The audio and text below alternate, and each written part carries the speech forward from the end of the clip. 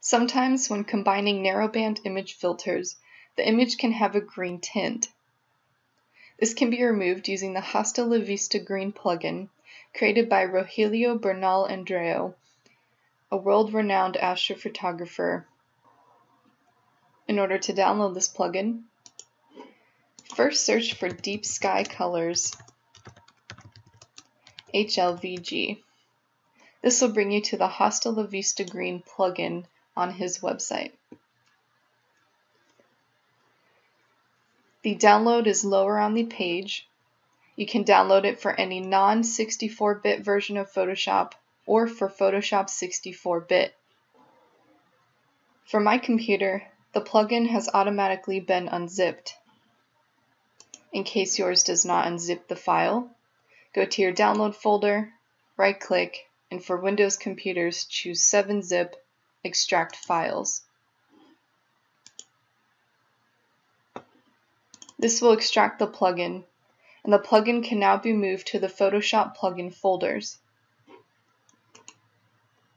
Create a copy.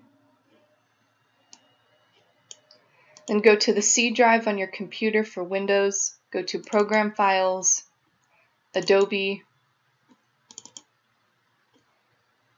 whatever version of Adobe Photoshop you are using. In my case, I'm using 2020. And go to the plugin folder. Paste the plugin.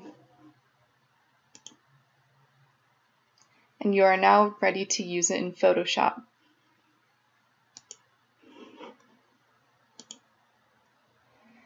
The plugin will be under the Filter tab under Deep Sky Colors.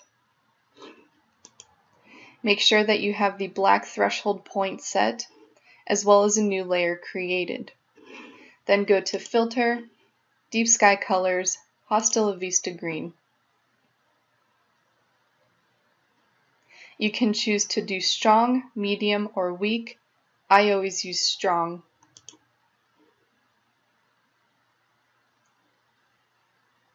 This removes the green tinting from the photo.